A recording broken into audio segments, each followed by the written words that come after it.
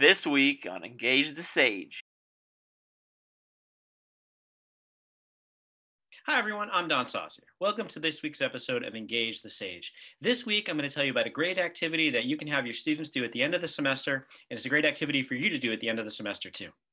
The end of the semester is a great time to look back on the content that you learned. It's a great time to look at the skills and the trivia and the tidbits that you've picked up through the course. It's a great time to think about the connections that you've made to the other people in the course.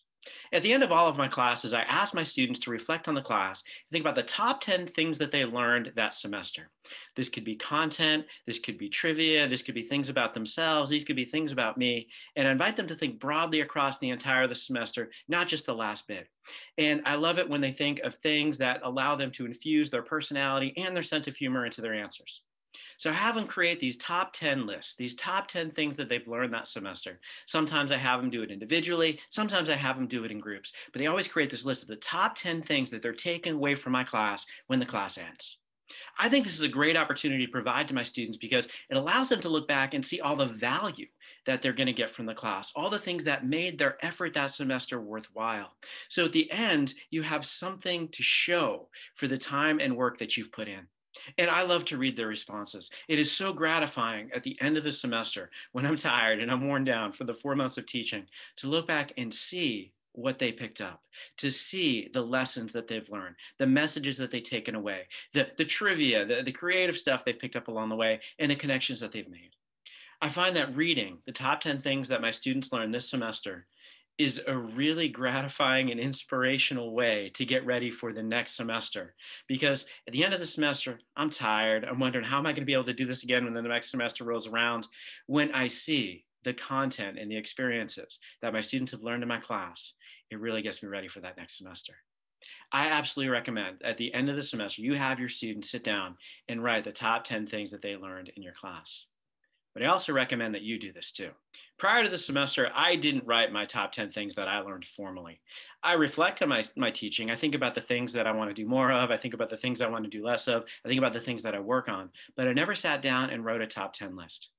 And I'm doing that now. And I'm sharing it with you and I'm sharing it with my students this semester because it's a really good way to connect on our experiences that we just had.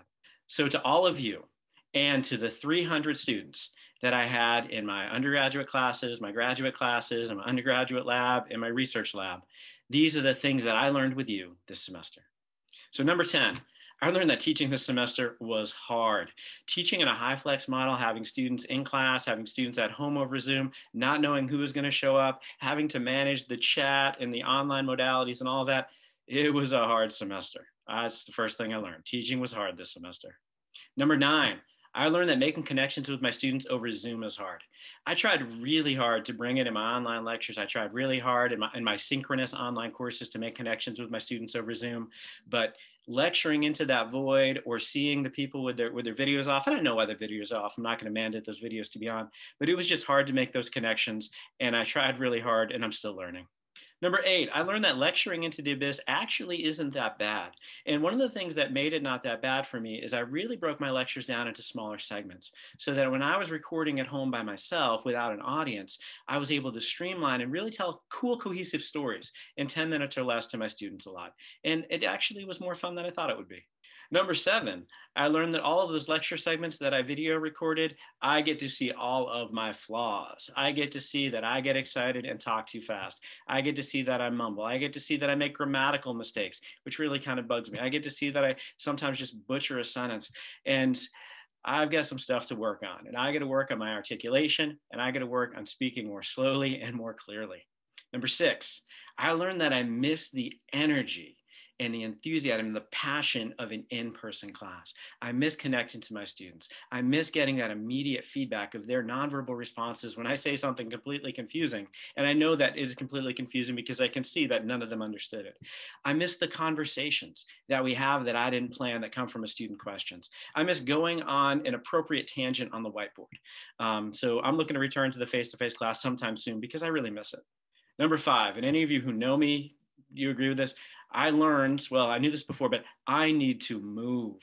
One of the things that happens with me working at home is I sit in this spot all day. I cannot sit in this spot all day. I am restless. So I'm hitting pause on Zoom meetings. I'm getting up. I'm shadow boxing. I'm doing yoga. I'm walking the dog with my family and wife all the time. Um, I, I need to move. Sometimes I just got to get down on the floor, do some yoga or some push ups in the middle of the day because I get restless. Number four, I learned that I am not going to get all of my stuff done.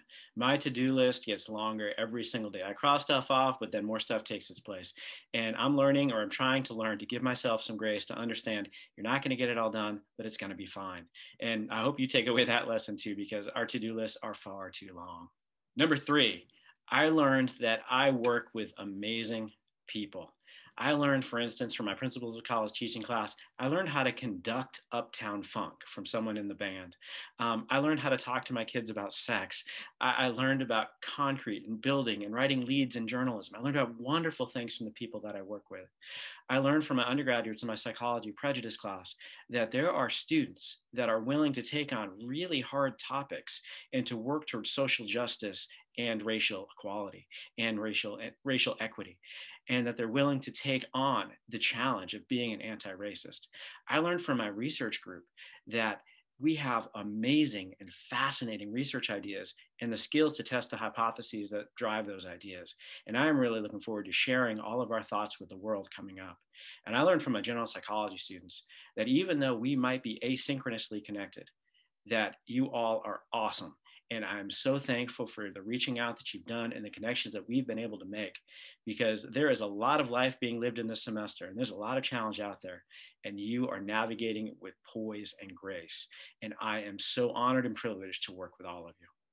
Number two, I learned that, especially this semester, but I think always in teaching, empathy is more important than rigor.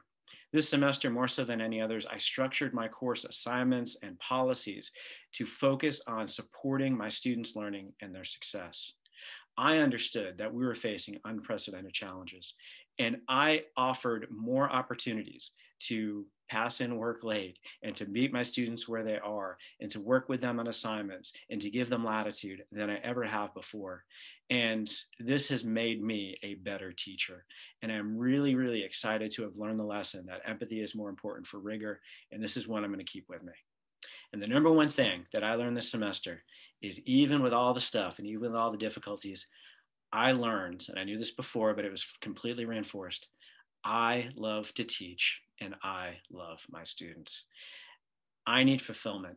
I need to feel like what I'm doing is valuable. And working with all of you across all of my classes, that happened.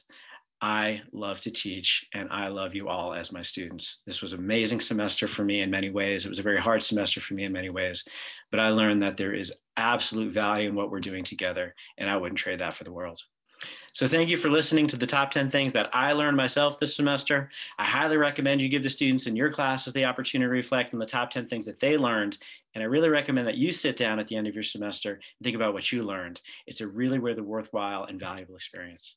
I'm excited to read about what you and your students learned in the comments below.